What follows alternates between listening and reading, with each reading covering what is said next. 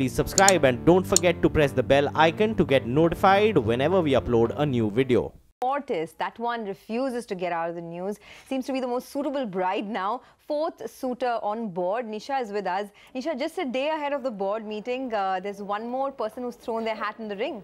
Oh yes, and it's a Chinese player, Fosun, which uh, after the entire, remember, Gland Pharma saga that happened, and they finally got in as an investor in Gland Pharma. Now they are confident about Fortis as well. So they have put their hat in the ring.